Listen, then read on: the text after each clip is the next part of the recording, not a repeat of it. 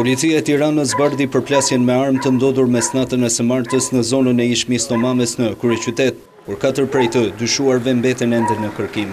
Blutë thanë se, gjashtë të rinj, dy prej të cilëve mbetën të plagosur, u përfshinë në një konflikt i cili dyshohet se ka të bëjë me dhënien e parave me fajde, gjë që degradoi në përdorimin e armëve nga të dy grupet. Në vendngjarje u sekuestruan katër makinat e autorëve si dhe tetë gëzhoja, ndërkohë që të plagosurit Xhenis Vrapi dhe Jurgen Shukri të dy nga Tirana u arrestuan kjo për faktin se nuk pranuan të bashkëpunojnë me policinë lidhur me identitetin e autorëve të tjerë. Nga ana tjetër policia mësohet se ka identifikuar agresorët e tjerë të përfshirë në ngjarje dhe po punohet për kapjen e tyre. Burime pranë uniformave blu thanë se, të shpallurit në kërkim, identitetet e të cilëve ende nuk jepen janë persona me të shkuar kriminale. Për kapjen e tyre policia ngriti disa postblloqe pranë shkollës Vasil Shanto, pas dyshimeve se disa prej tyre fshihen në këtë zonë.